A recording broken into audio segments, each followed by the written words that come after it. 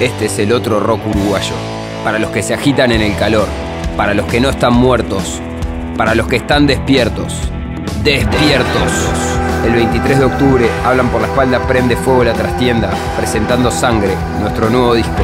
Entradas en venta en Red UTS, una celebración de melodías negras.